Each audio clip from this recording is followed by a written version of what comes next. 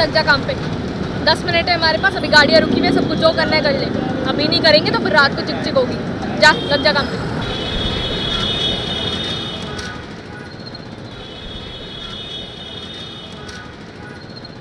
कहाँ रह गई थी? बत्ती लाल वाली है।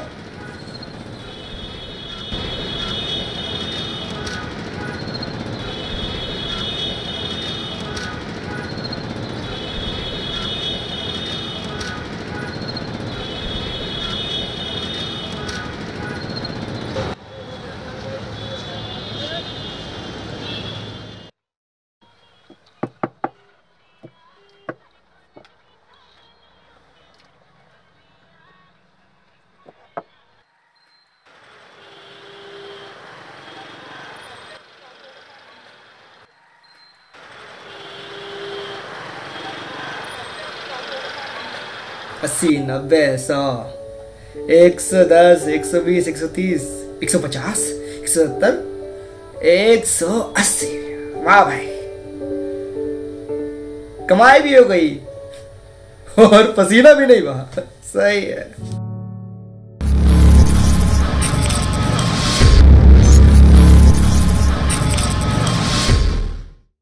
तो हमारे सीएम साहब आपके सामने कुछ कहना चाहते हैं।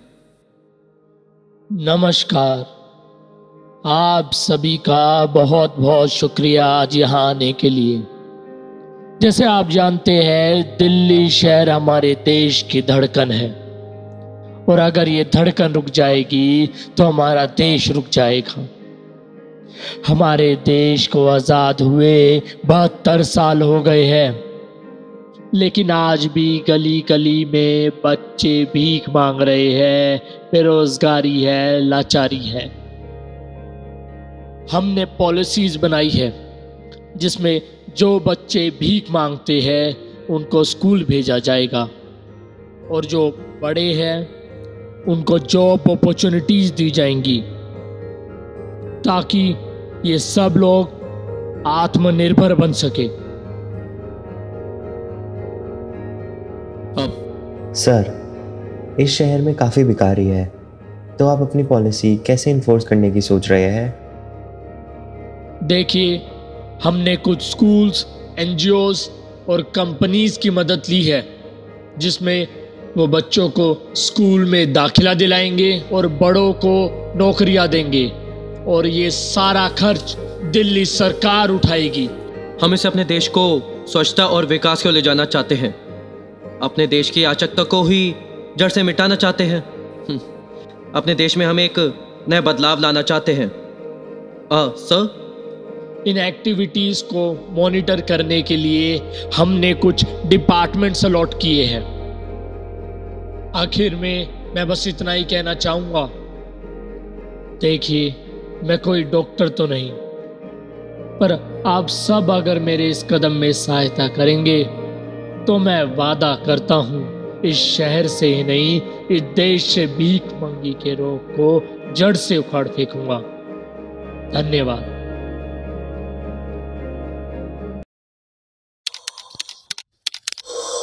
अरे, इधर आ तो गुड़िया। क्या कर रही है पता नहीं, तब से देख रही हूँ।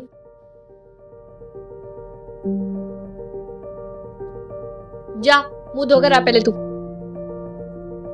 अरे बटन बंद करना तक नहीं आता इसे। स्कूल भेजेंगे ये लोग इसे। अति मस्त ज़िंदगी चल रही थी। बिना मेहनत किए सारी जरूरतें पूरी हो रही थी। पर अब अब ससुरा सुबह शाम मेहनत मजदूरी करो रोटी कमाने के लिए। अरे भिखारियों के लिए कुछ करना है। अरे हमसे पूछ तो लेते हैं हमें क्या चाहिए? बुढ़िया मुँह धो क्या? तब से बोल रही हूँ तेरे को जा। पूरी ज़िंदगी भीख मांगी है इसने। वही आता है इसे। कैसे करेगी स्कूल में? अरे ये सब कुछ नहीं। ये सब ना समाज का किया धरा है। सही कह रही उन्हीं की करनी है। कोई नहीं मैं भी देख लेती हूँ ये लोग कब तक कराते हैं।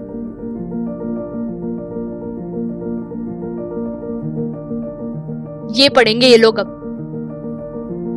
कर पाएगी स्कूल में कुछ? ले। चली जाए यहाँ से।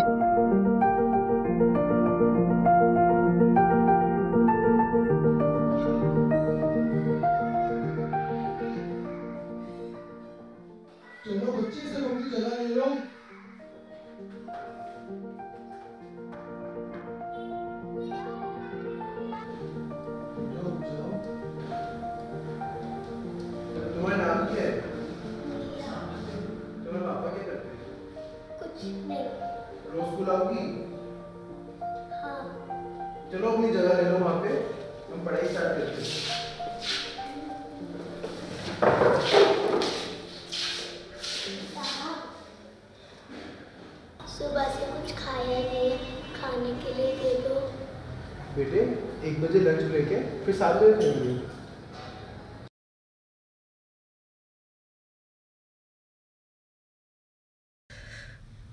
कहाँ फंसा दिया इन लोगों ने मुझे?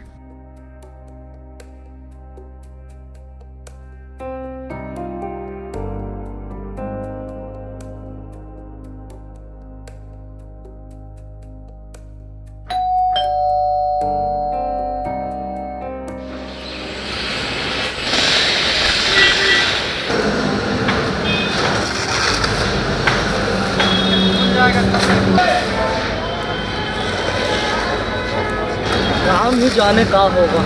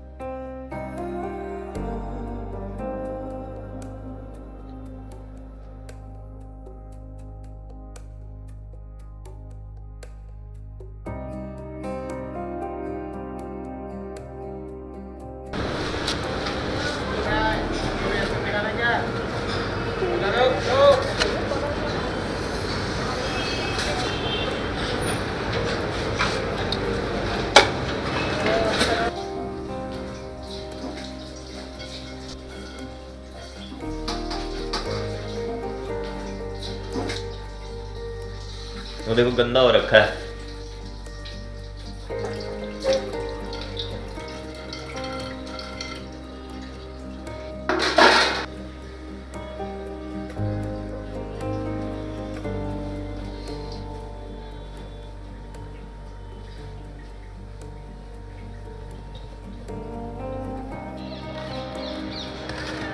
और भाई, सब सही चल रहा है। ओए, क्या कर रहे हैं? जल्दी जल्दी हाथ चला। किसने रखा था थोड़ा इतने में तो पौवा पी ले।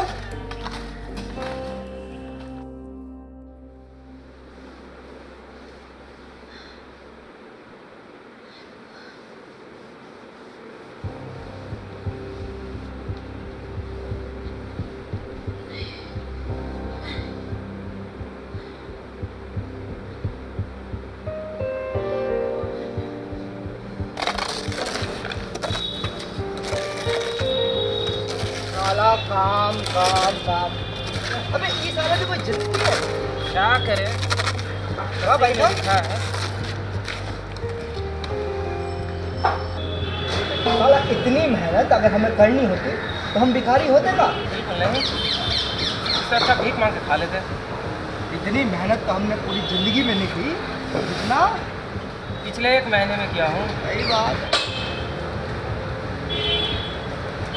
जो मज़ा मांग के खाने में है वो साला मेहनत कमाई में है क्या? बताओ। बिल्कुल नहीं।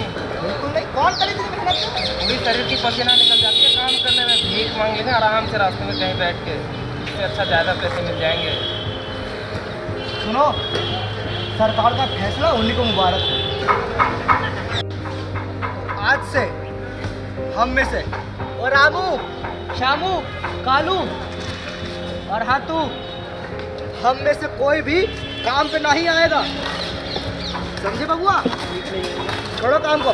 छोड़ो छोड़ो।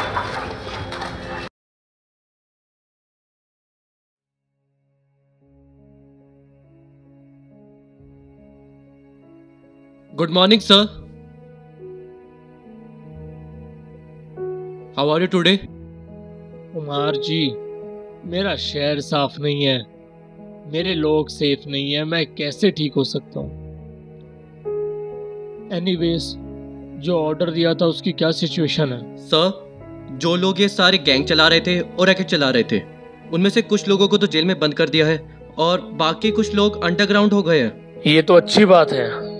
मतलब ऑर्डर काम कर रहा है। नहीं सर बहुत सारी फैमिलीज़ ने अपने आप सड़क पर आकर भीख मांगना शुरू कर दिया है। बिना किसी रैकेट या गैंग के सर इन लोगों को किसी रैकेट या गैंग की ज़रूरत नहीं है। इन लोगों ने इसे अपना प्रोफेशन समझ लिया है। और बचपन से अपने बच्चों को ये भीख मांगने की आदतें डाल देते हैं कि शुरू से ही ये भीख मांगने के नुस्खे सीख जाए। और जैसे डॉक्टर का बच्चा डॉक्टर एक्टर का बच्चा एक्टर वैसे ही भिखारी का बच्चा भिखारी।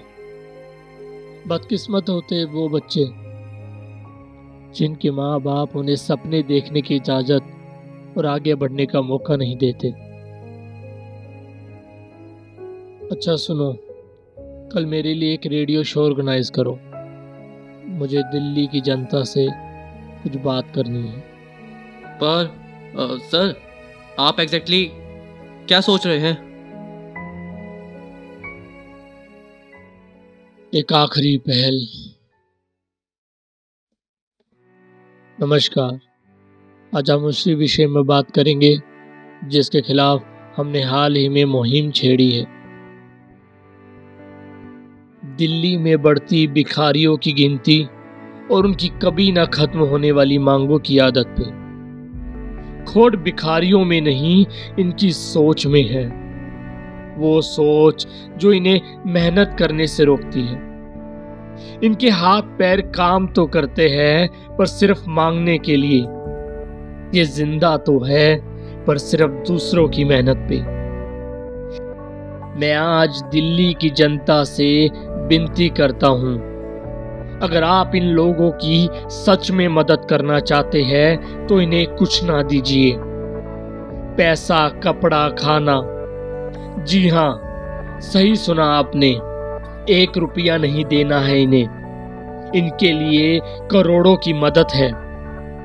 क्योंकि अगर देने वाला ही नहीं होगा तो भिखारी बनना नामुमकिन सा हो जाएगा। और उन्हें ज़िंदा रहने के लिए नौकरियाँ करनी पड़ेगी, जो हम उन्हें दे रहे हैं।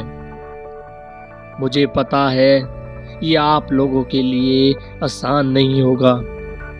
पर आपके एक फैसले से कुछ लाखों जिंदगियाँ संवर सकती हैं।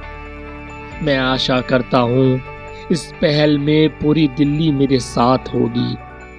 मांगने की सोच के खिलाफ जीत हमारी ही होगी।